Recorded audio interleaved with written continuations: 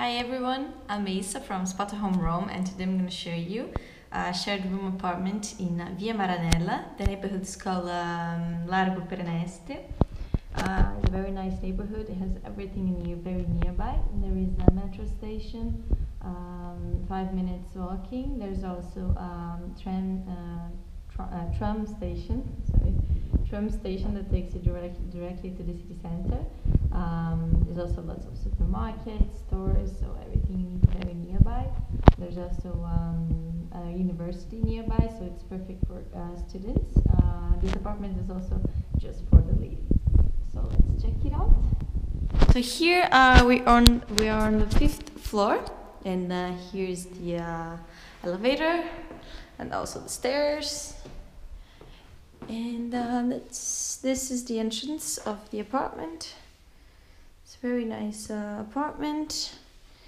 Um, here we have um, a room of the landlords. Here we have the bathroom, the kitchen, the rentable bedroom, and uh, this is uh, a storage room of the landlord, and this also uh, this is the bedroom of the landlord. So um, let's check the bedroom, the bathroom, sorry.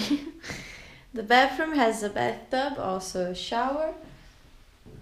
It has a nice um, big, um, oh, oh god, how does it call Mirror and uh, sink, very nice sink, um, toilet and uh, bidet. And uh, that's it. Oh, there's also a washing machine, a pink, very nice washing machine. I've never seen a washing machine pink before, but um, that's it. Very nice. So here we have the kitchen. Um, has two sinks, table for three, has a gas oven and a gas stove, quite big and uh, here there's also um, a small balcony where you can put your clothes to dry to an internal courtyard. This has also the same view of the bedroom which is internal courtyard. So yeah. And here we have the fridge.